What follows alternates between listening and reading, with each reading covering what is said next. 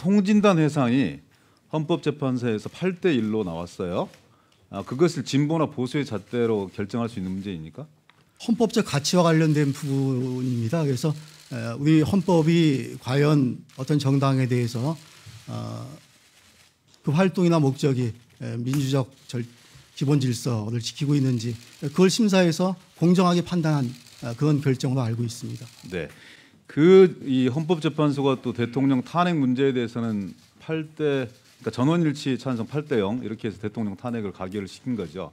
그것을 저는 진보나 보수의 입장에서 결정할 수 있는 판단할 수 있는 그런 문제라기보다는 원칙과 상식에 부합한 판단이다. 근데 그런 부분들이 너무 아, 이념적 색채가 좀 강하게 드러나고 해석되어서 좀 부담스럽다는 그런 말씀들을 드리고요.